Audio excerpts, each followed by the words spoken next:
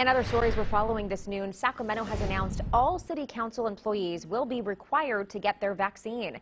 Employees will need to provide proof that they have gotten at least one dose by September 1st.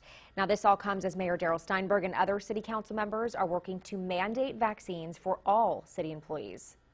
Certainly, everybody who holds the public trust and who signs up to be a public employee, especially a public safety employee in this city, needs to get vaccinated. Period. End of story. Last week, the mayor called for all new hires and current city employees to get vaccinated or face the possibility of losing their job. Both proposals are getting major pushback from unions who say their workers have the right to choose.